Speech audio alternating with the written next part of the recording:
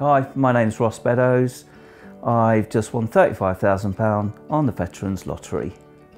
So my motivation uh, to play the lottery, the Veterans Lottery, uh, it was just basically just to put some money or donate some money per month um, to this uh, lottery just to help the veterans because I don't really get a lot of help. So uh, I've got family members who, who are veterans and um, one bit one that has PTSD and I've seen them struggle and so I know how hard it is for them um, to get through without any help.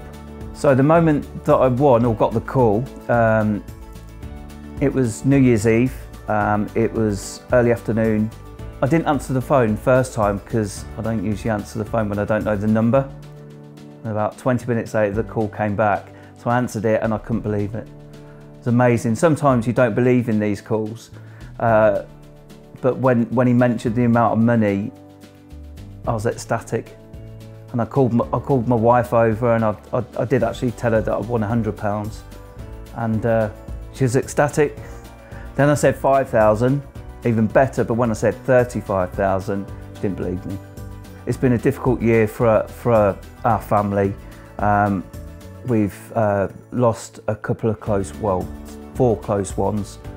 Um, with the pandemic, uh, me being self-employed and my partner, she works in the pub industry, so that, that's set us back a bit and it couldn't have come at a better time to be fair.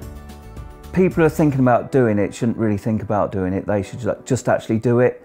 I mean, for the, for the sake of the small donation a month, which, which is going to help a lot of people, um, if everyone thinks the same collectively, this charity can become bigger and assist and help more people and make it easier for their lives because they've served um, for our country, they, they've protected us, we should protect them.